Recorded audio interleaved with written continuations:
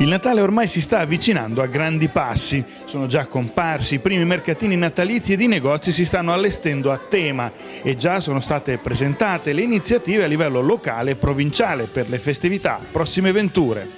Tutte le città ormai sono in modalità Natale già da un po'. Anche il Natale più fanese ha acceso i motori. A giorni farà la sua comparsa in piazza il maestoso abete vero da 13 metri che riceverà migliaia e migliaia di luci a LED e sono anche in arrivo le casette in legno per il mercatino natalizio. Una delle novità di questa edizione sono sicuramente i presepi che compariranno in città ad aggiungere ancora di più atmosfera al clima natalizio ma ce n'è uno che sicuramente lascerà bocca aperta a tutti i suoi visitatori per spettacolarità e realizzazione il presepe di sabbia in piazza Miani.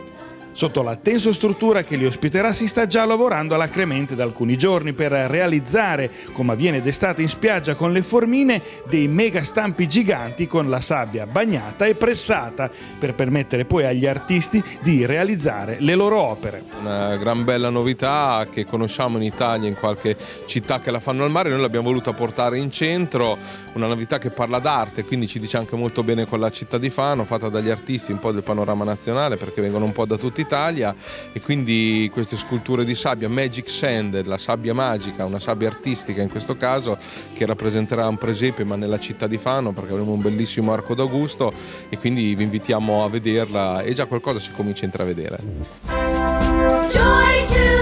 Sei spettacolari sculture realizzate dai migliori artisti a livello nazionale ed anche da un rappresentante locale di questa forma artistica, una vecchia conoscenza per Fano TV, Roberto Mancini, che da molti anni ogni estate realizza in spiaggia a Torrette una sua spettacolare realizzazione. Che cosa vedremo qua su? Vedremo su una passerella dove si potrà entrare, naturalmente a ingresso libero, vari personaggi del presepe, con annesso anche una, una parte del centro storico di Fano che effettivamente andrebbe messo sempre, ecco perché siamo fanesi. Da un cumulo di sabbia nascono delle opere fantastiche. Certo, noi siamo orgogliosi di essere ospiti qui di Fano e abbiamo progettato appunto questo, questo lavoro per, da realizzare con la, solamente con la sabbia e acqua in una località così importante, diciamo, e con la sabbia del mare. E noi siamo scultori da 15 anni, un po' di esperienza l'abbiamo fatta e lavoriamo insieme.